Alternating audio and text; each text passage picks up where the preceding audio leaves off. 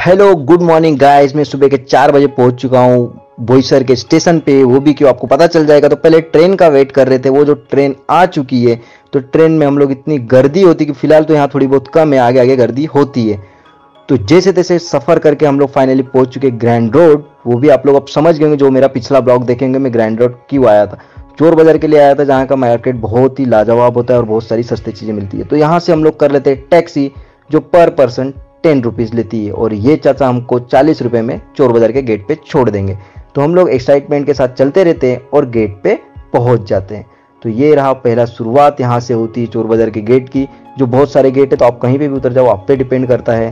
तो यहाँ तो ऐसी भीड़ थी जैसे कि सब कुछ फ्री में मिल रहा हो। तो यहाँ कैमरा बाहर निकलने का फुर्सत ही नहीं मिल रहा था क्योंकि धक्का उक्का लग रहा था, पर जैसे तैसे वीडियोस बन रहे थे।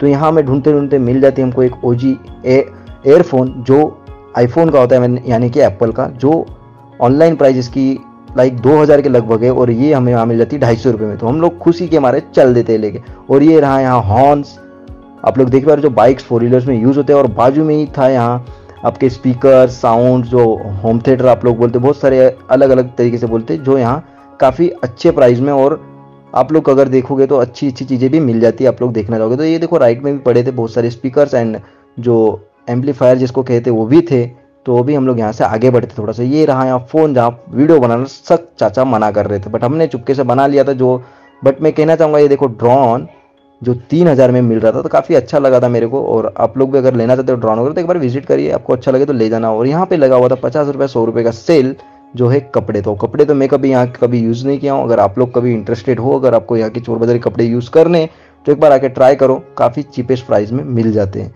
तो यहाँ आप लोग देख पा रहे जो लड़कियों के कपड़े मतलब बर्तन धोने के जो काम आते हैं, वो सामान भी यहाँ बिक रहे थे काफ़ी सस्ते प्राइस में। और ये यहाँ आप लोग देख पा रहे साउंड सिस्टम और पीछे आप लोग को दिख रहा होगा लैपटॉप वहाँ में जाने की कोशिश कर रहा था, बल्कि भीड़ बहुत ज़्यादा थी तो वहाँ मैं पहुँच नहीं पा रहा था। तो जैसे तैसे करके मैं पहुँचता हूँ, ये आप लोग देख पा रहे जो भैया इस लैपटॉप पे पहुँच रहे ये लैपटॉप छः हज़ार का था और ये मैकबुक तीस हज़ार का। बस यही सुनते मैं यहाँ से कल्टी मार लेता हूँ। और सबसे एंटिक चीज़ मेरे को दिखती है कैमरा पुराने ज़माने का जो एकदम यूनिक था तो हम लोग ज़्यादातर यहाँ से कुछ लेते नहीं है, बस सबको ये बर्ड्स पसंद आते हैं। अब देखो, यहाँ के बर्ड्स का कहना है, चला तो रात तक, वरना चाँद तक। तो यहाँ ही अपना ब्लॉग एंड करते हैं और मिलते थे आपको नेक्स्ट ब्लॉग में। तब तक के लिए बाय